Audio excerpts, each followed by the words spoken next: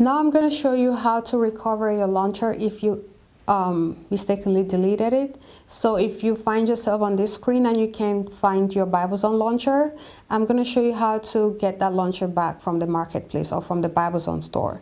So um, when you see this screen, just tap OK and um, don't freak out because you don't see anything and you just see Jesus, which is really cool.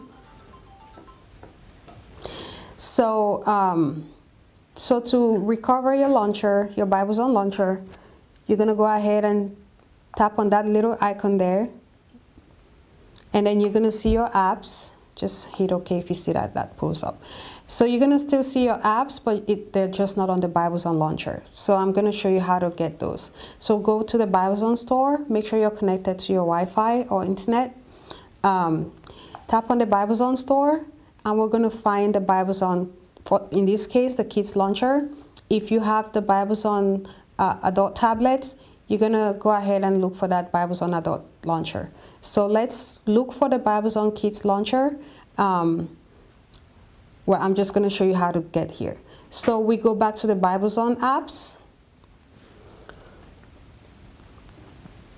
And on the Biblezon apps, we're going to look for the Biblezon Kids launcher. Just scroll down until you see um, until you see that. So it's right here. Um, in this case, this is the Biblezon Kids launcher. If you have the adult tablets, you're going to look for the Biblezon adult launcher, which is right there.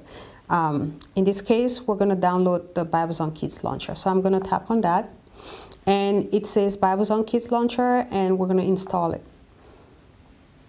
Just tap on it once and um, see if the process starts. If it doesn't, go ahead and do it a second time. There you go.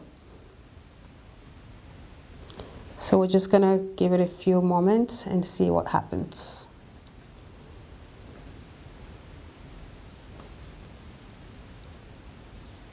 It's running really slow, so it may take a little bit of time.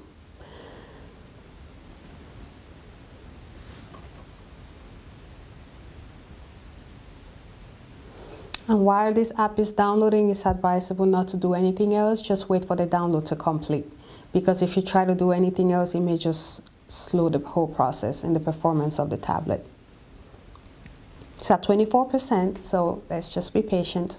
Okay, so once that download is completed, it would um, bring up this screen and just, just tap next and just keep going next. And now it says install. Go ahead and tap on install and it'll be installing the new, or it'll be installing the lost Kids launcher. So you're gonna have your launcher back again.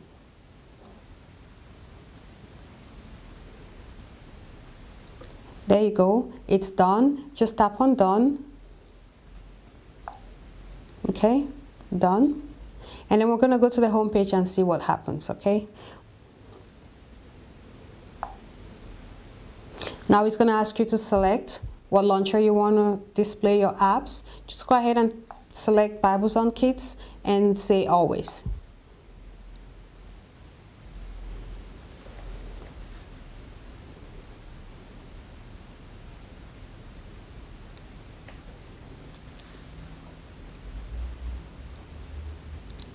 It's taking a little bit of time. Okay, so it's going to take you back to the sign up screen. Just go ahead and enter your name and your information. And I'll, I'll just do that for demonstration purposes.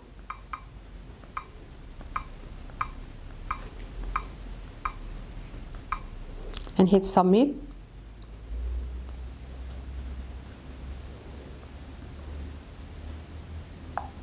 There you go.